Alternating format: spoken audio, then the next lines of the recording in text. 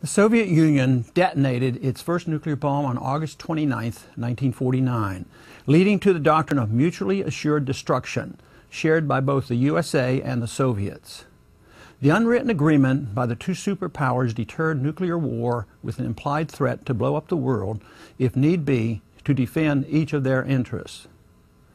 I well remember the Cuban Missile Crisis of October 1962, having been drafted into the military at that time.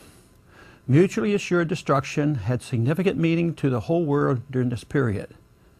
This crisis, along with the escalating ill-advised Vietnam War, made me very much aware of the problems the world faced during the five years I served as a U.S. Air Force flight surgeon. It was with great pleasure and hope that I observed the collapse of the Soviet Union between 1989 and 1991. This breakup verified the early predictions by the free market economists like Ludwig von Mises that communism would self destruct because of the deeply flawed economic theories embedded in socialism. Our nukes were never needed because ideas are more powerful than the weapons of war. Many Americans at the time were boldly hopeful that we would benefit from a generous peace dividend. Sadly, it turned out to be a wonderful opportunity wasted. There was to be no beating their swords into plowshares, even though history shows that without weapons and war, there's more food and prosperity for the people. Unfortunately, our leaders decided on another course that served the special interests who benefit from constant wars and the arbitrary rearrangements of national borders for control of national resources. Instead of a peace dividend from ending the policy of mutually assured destruction, U.S. leaders opted for a foreign policy of American world domination as its sole superpower. It was all in the spirit of Woodrow Wilson's idealistic goal of making the world safe for democracy by pursuing a war to end all wars. The mantra became that American exceptionalism morally required us to spread our dominance worldwide by force. U.S. world dominance, by whatever means, became our new bipartisan foreign policy. There was to be no peace dividend, though our enemies were virtually non existent. In many ways, America had been exceptional in an opposite manner from the neocon driven foreign policy of the last 20 years. If America indeed has something good to offer, the cause of peace, prosperity, and liberty, it must be spread through persuasion and by example, not by intimidation, bribes, and war. Maintaining world domination is based on an intellectually and financially bankrupt idea that generates dependency war, loss of civil liberties, inflation, and debt, all of which contribute to our economic crisis.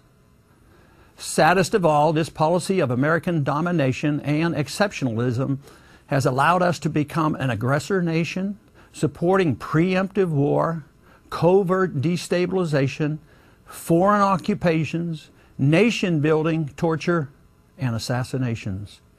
This policy has generated hatred toward Americans and provides the incentive for almost all of the suicides attacks against us and our allies.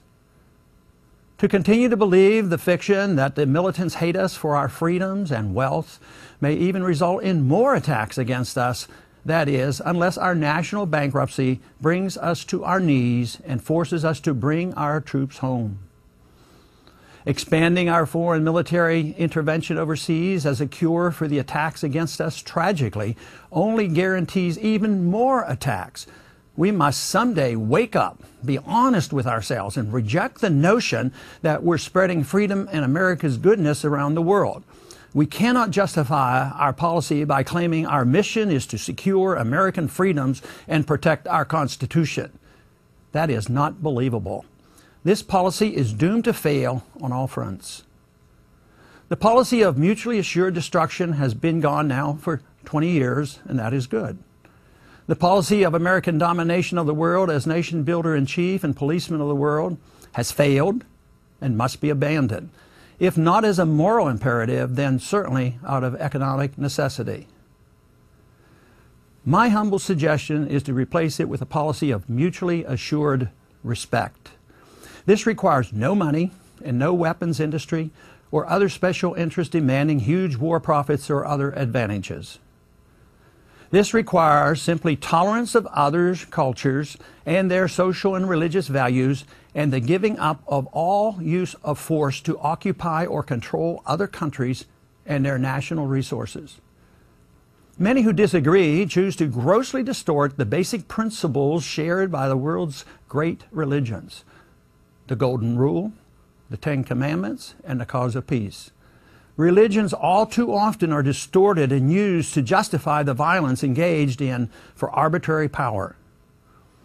A policy of mutually assured respect would result in the U.S.